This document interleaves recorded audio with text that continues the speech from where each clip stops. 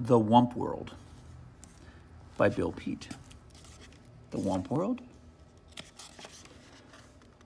The Wump World by Bill Peet.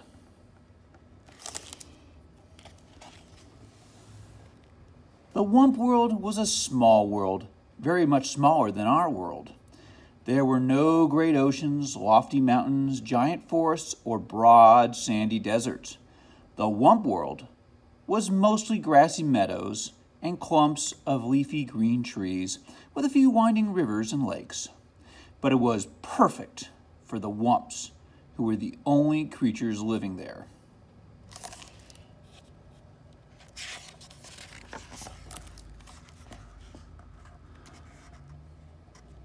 The Wumps were simple grass eaters and spent most of their time grazing on the tall, tender grass that grew in the meadows. In warm weather, they cooled themselves in the crystal clear rivers and lakes, and at night they slept in the shelter of the bumbleshoot trees to keep the dew off their backs. Since the Wumps had no enemies, they wandered around just as they pleased, with nothing whatever to worry about. However, the Wumps would have worried if they had known that someone a million miles away was watching their little world.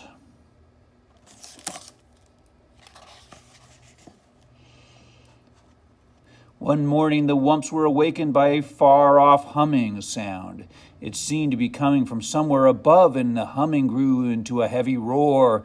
The sleepy eyed Wumps crept through the trees for a peek at the sky.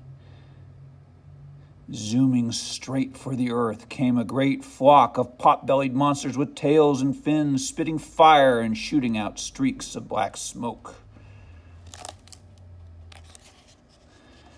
As the monsters swooped down to land, huge legs sprang from their bulging sides, and like gaping mouths, doors flew open. Then ramps shot to the ground, and down the ramps came a horde of tiny creatures swarming out onto the meadow. These were the Pollutians from the planet Pollutus. They had left their worn out old planet to start a new life in a new world. After such a long journey, the Pollutians were overjoyed to find themselves on solid ground once more. There they are.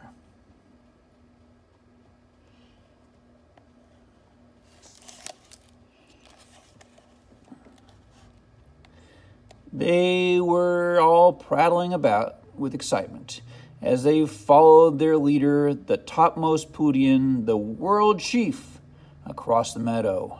At the top of the hill, the chief stopped for a long look at the surrounding countryside. Finally, he said, Looks good. We'll take it. Plant the flag, Sergeant, and let's get things going.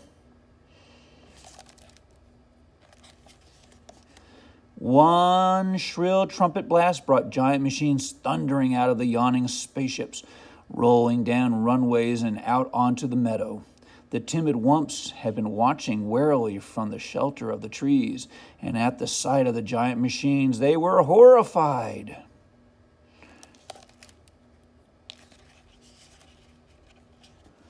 Whoop, whoop! They cried. In a wild eyed panic, they went humpity clumpity off through the trees to go diving headlong into the nearest cave.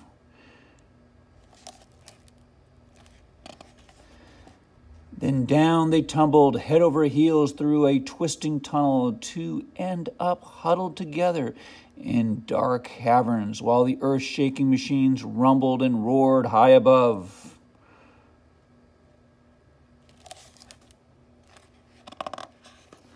Once they got started, the monstrous machines moved at a furious pace, gobbling up trees and grinding them to bits. More giant machines flattened the ground, followed by great scoopers and scrapers and diggers with, and gigantic cranes. Soon the entire Wump world was overrun.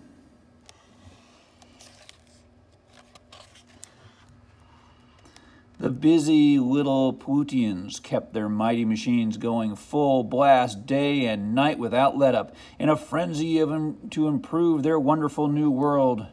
Suddenly, great cities sprang up, huge factory buildings with towering smokestacks, high rise apartment buildings, and a tall, tall office buildings, and above them all loomed the hundred story skyscrapers.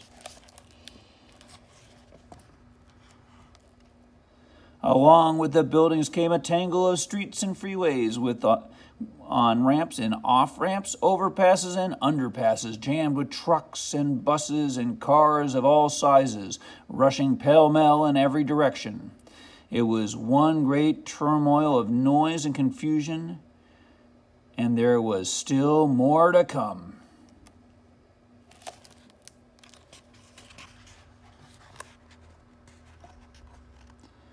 Meanwhile, the poor wumps remained underground, wandering aimlessly through the caverns, feeding on the fuzzy green moss growing on the ledges and the mushrooms clustered in the crannies, and sipping the sweet water from pools fed by underground springs. But they were very unhappy. For all they knew, they might have to spend the rest of their days down there. The Wumps didn't dare venture up to the surface, not even for a peek. They were much too frightened by the endless rumblings and roarings and loud screechings coming from above, and it was growing noisier by the day.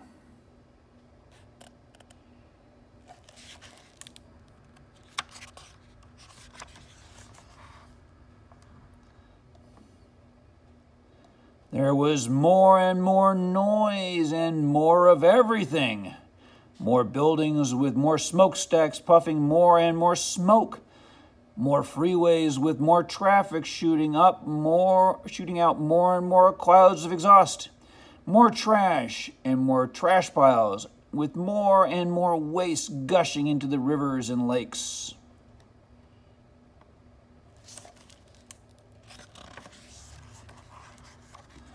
Pretty soon, the cities were so clouded by the factory smoke and the fumes from the freeways that the Pollutians could barely breathe. They all went sneezing and wheezing about the streets, grouching and grumbling and blaming one another for the awful mess they were in.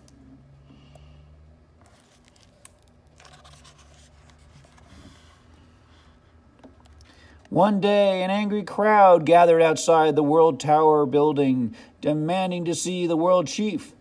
When the chief appeared on his balcony and all the Pollutians began shouting at once, We can't breathe the air, we can't drink the water, and we can't stand the noise. We've had enough.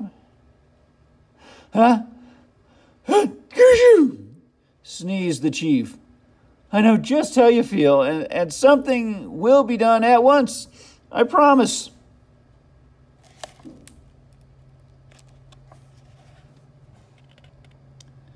With no time to lose, the chief called for a meeting with his three outer spacemen. Gentlemen, he said, this world of ours has gone sour. We've got to get out of here quick, but first we must find a new world, a better one. That's your job, men, so get going. Righto, Chief, barked the men, and within minutes, 15 minutes, they were at the spaceports, aboard the, their spaceships.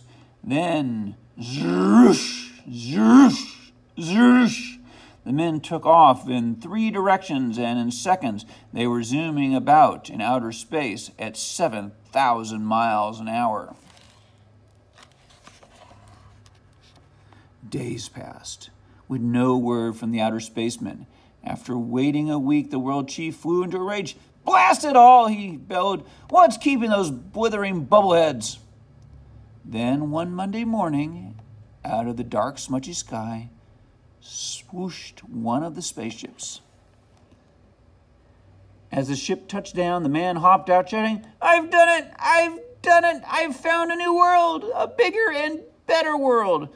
Nice going, lad, said the world chief, and the crowd gathered at the spaceport gave their hero one great, rousing cheer, which ended in a fit of sneezing.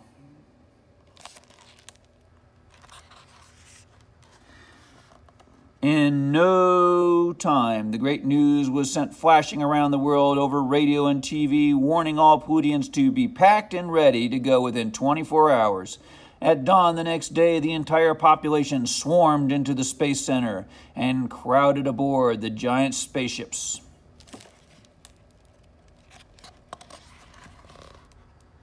After double checking to make sure all the Pollutians were accounted for, the World Chief gave the signal for blastoff. With a thunderous roar, the giant ships shot off the ground. Kazoom! Up and away through the smoke blackened sky, and were gone. And at long last, peace and quiet settled over the Wump world. The sudden silence came as a shock to the Wumps.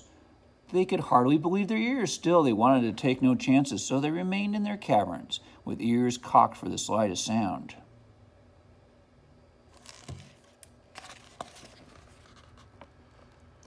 After a long, long silence, they decided it was time to go, and led by the biggest wump, they crept up the tunnel to the cave entrance to find it covered by a crust of cement.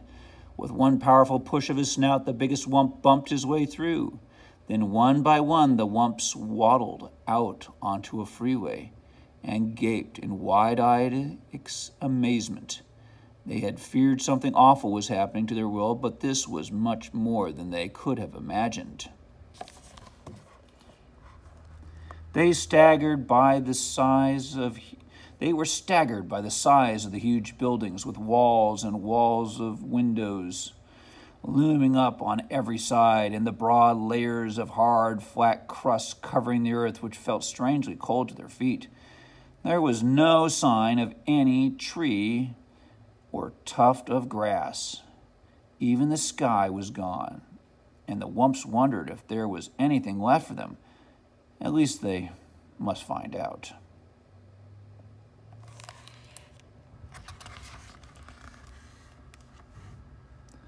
They wandered the freeways for miles, only to find more and more buildings with endless heaps of wreckage and rubble. For all they could see, their world was completely ruined. Footsore and weary, the Wumps were about to give up and head back for their cave when the biggest Wump let out a joyful whoop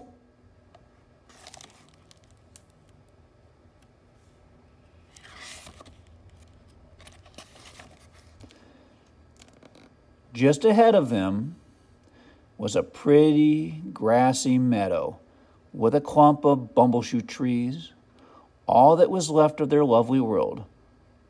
Wump wumping for joy, the wumps went bounding off the freeway out onto the meadow. Pretty soon the hungry wumps were munching away on the tall, tender grass. Now there was new hope for the wumps.